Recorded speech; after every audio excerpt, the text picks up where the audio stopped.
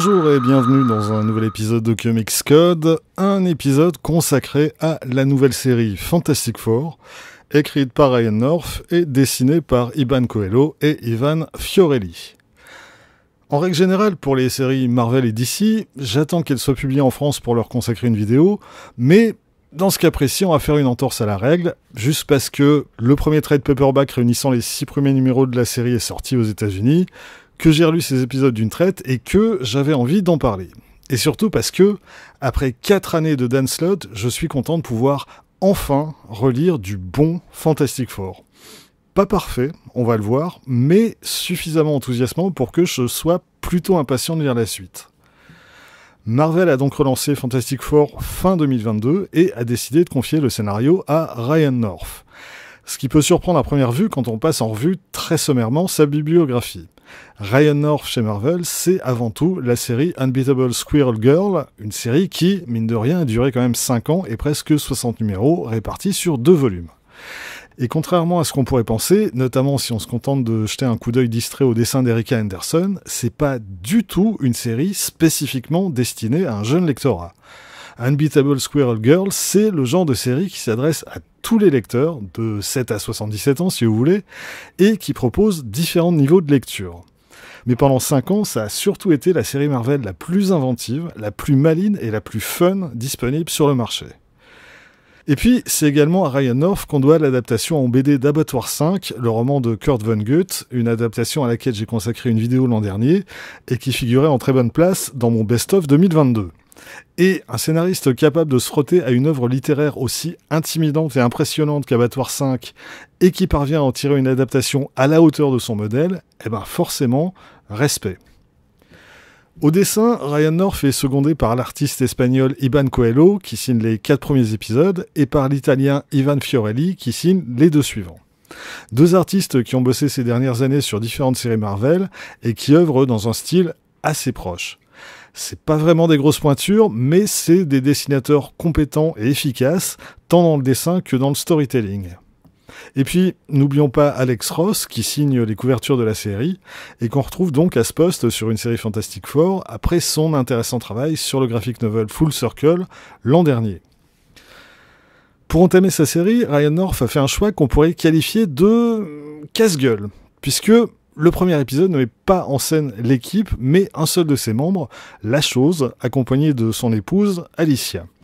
On les retrouve à Cedar, une petite ville de Pennsylvanie, où ils s'arrêtent et prennent une chambre pour la nuit, et où ils vont très vite se rendre compte qu'il se passe des choses étranges. En fait, tous les habitants de Cedar revivent chaque jour la même journée depuis plus de 70 ans. Charge à la chose et à Alicia de découvrir pourquoi et surtout comment y remédier. Le reste de l'équipe n'apparaît pas dans ce premier épisode, et pour cause, on l'apprend très vite, les Fantastic Four se sont séparés. Qu'est-ce qui s'est passé? On n'en saura pas beaucoup plus dans ce premier épisode. C'est certes pas la première fois qu'ils se séparent, mais démarrer une série consacrée à une équipe en révélant que l'équipe en question n'existe plus, c'est un peu curieux. Plus embêtant, le procédé utilisé par Ryan North dans ce premier épisode est sensiblement le même que celui utilisé par Zeb Wells à peu près au même moment dans Amazing Spider-Man. Et là encore, ça joue pas vraiment en faveur de la série. Ce premier épisode est pas mauvais pour autant. Le scénario propose une variation plutôt sympathique sur l'intrigue du film Un jour sans fin, avec un petit côté Twilight Zone. Ce qui est plus embêtant, c'est que il s'agit pas vraiment d'une histoire des Fantastic Four. Pas seulement parce que l'équipe est absente, mais parce que la chose et Alicia pourraient être remplacées par n'importe qui et la résolution de cette histoire serait absolument identique.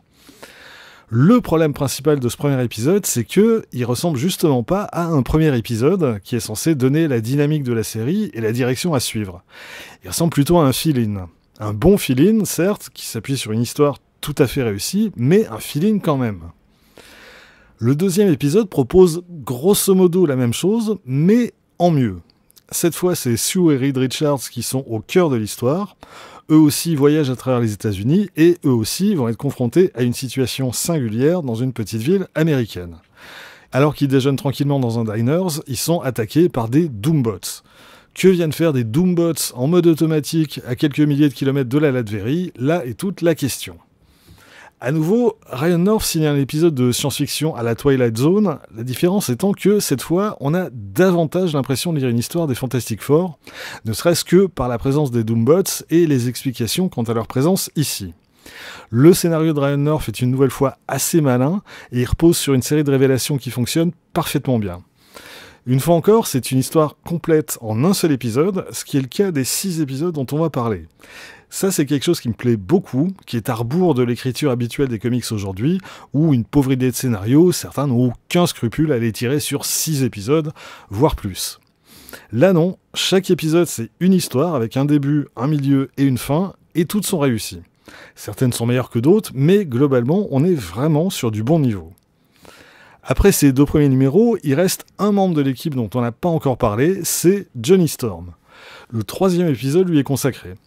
Contrairement à ses acolytes, lui a choisi de rester à New York, mais pour échapper à la vindicte populaire qui semble avoir pris les Fantastic Four pour cible, il a décidé d'adopter une nouvelle identité et un nouveau look qu'on dirait quand même tout droit sorti d'un porno des années 70.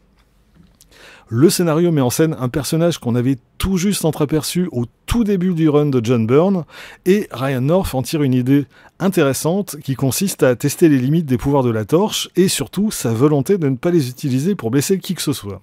Ça fonctionne assez bien, on est ici plutôt dans le registre de la comédie, avec un Johnny Storm en grand couillon toujours pas tout à fait sorti de l'adolescence. Et finalement, avec le quatrième épisode, on va enfin retrouver l'équipe au complet. Non seulement ça, mais on va savoir pourquoi ils se sont séparés et pourquoi ils ont dû prendre la route. Au passage, on appréciera le fait que Ryan North n'ait pas fait durer le mystère plus longtemps, contrairement à vous savez qui sur Amazing, vous savez quoi.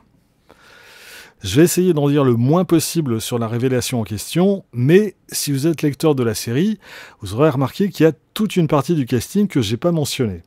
L'explication se trouve dans cet épisode. Et elle est aux trois quarts convaincante. L'idée développée par Ryan North fonctionne de manière somme toute assez logique. Elle a un impact émotionnel important sur les personnages, mais sans plomber outre mesure l'ambiance de la série. Mais en fait, elle permet surtout de mettre de côté pour un temps certains éléments de la série qui visiblement n'intéressaient pas le scénariste. Donc oui, ça fonctionne. C'est un poil capillotracté, mais ça fonctionne et le traitement est plutôt convaincant. L'équipe reformée, elle va affronter dans le numéro suivant des adversaires qui font pas franchement partie du top 10 des vilains les plus impressionnants de la série, Nicolas Scratch et les 7 de Salem.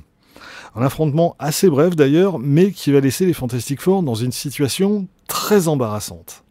Ici, Ryan North joue à fond sur le côté pseudo-scientifique de la série, et ça fonctionne parfaitement bien.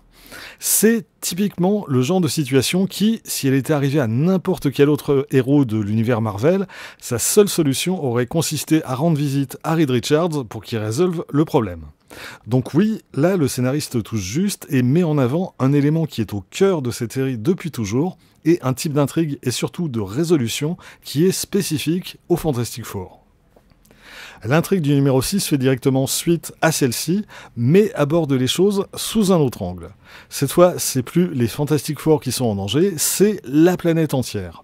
Et eux seuls ont la capacité de la sauver en faisant usage de leur pouvoir d'une manière inattendue et originale, et qui, une fois encore, s'appuie sur une résolution et une explication scientifique au problème. On retrouve là les mêmes qualités que dans l'épisode précédent, mais de manière encore plus spectaculaire. Sue Storm joue un rôle central dans l'histoire et Ryan North en profite pour mettre en scène une très chouette séquence entre elle et son frère Johnny. L'épisode et le trade paperback se concluent sur un dernier rebondissement qui vient confirmer que la situation des Fantastic Four est loin d'être réglée auprès de la population, mais également auprès des autorités. Alors, un premier bilan après ces six premiers épisodes, il y a clairement une progression d'une histoire à l'autre, et le dernier épisode vient répondre à un bon nombre de réserves qu'on pouvait avoir au début de la série. Ryan North maîtrise ses personnages, il maîtrise leurs relations et leurs interactions, il sait mettre en avant une bonne partie des éléments qui constituent la spécificité de cette série et de cette équipe par rapport à d'autres. Une bonne partie, mais pas toute. À l'exception du dernier épisode, on reste dans un cadre très limité et assez minimaliste. Les aventures des Fantastic Four restent cantonnées dans un cadre très ordinaire, celui d'une Amérique rurale, qui est très éloigné de leur cadre habituel. Ça donne une certaine originalité à ces épisodes, mais En même temps, quand on est habitué à les voir voyager aux quatre coins de la galaxie, dans la zone négative ou dans des dimensions parallèles, là, le côté petite ville de province, ça donne un côté quand même assez étriqué à ces histoires. Pour l'instant, ça donne surtout un petit côté des paysans, et ça renvoie également à certaines histoires plus anciennes, mais ça pourrait devenir un problème si ça devait durer trop longtemps, et surtout si Ryan North devait ne se limiter qu'à ce registre. À un moment ou à un autre, il va nous falloir du Galactus, du Annihilus ou du Ego, ce que vous voulez, mais il va falloir changer d'échelle. Ce qui m'amène à une seconde réserve, c'est l'absence sur ces premiers épisodes des grands adversaires traditionnels des Fantastic Four. Et c'est pas Nicolas Scratch ni même les Doombots qui peuvent tenir ce rôle.